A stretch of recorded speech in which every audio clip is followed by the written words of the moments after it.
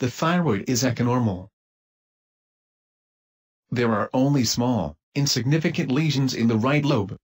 The left lobe has two nodules, a cystic one in the upper pole, while a complex lesion in the lower third. The latter is a dominantly solid nodule which has a dominantly echonormal, heterogeneous solid part. This large nodule has paranodular vascularity,